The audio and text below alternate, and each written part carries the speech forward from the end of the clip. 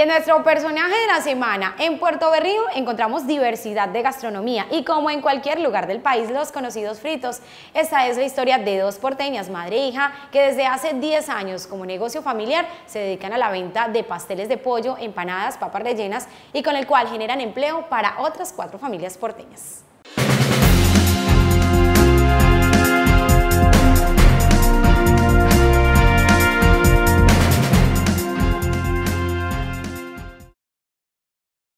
Empoderadas y decididas en seguir transformando los territorios. Así son las mujeres, mujeres empoderadas que con sus ideas de negocio no solo aportan a un desarrollo individual, sino también colectivo. Estas dos emprendedoras porteñas, madre e hija, hoy ofrecen en la gastronomía porteña los famosos fritos, alimentos que realizan en las mejores condiciones desde hace varios años. Desde el día anterior se está trabajando, se está preparando todo.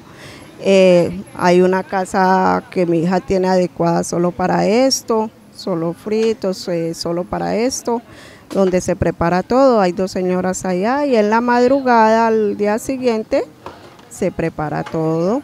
Eh, de lo que viene preparado y lo que aún, por ejemplo, para tener acá calientico, fresquito, que la gente se sienta bien a gusto en la atención y en todo, muy aseado todo muy aseado.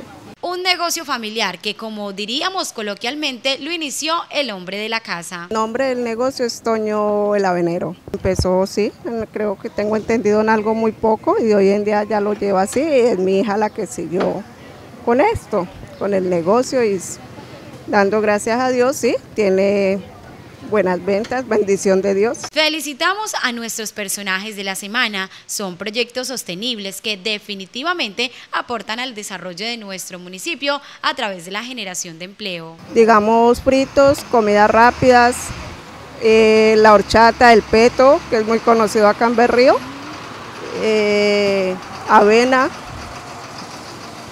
eh, para este clima, el jugo de maracuyá damos empleos a, cuatro personas.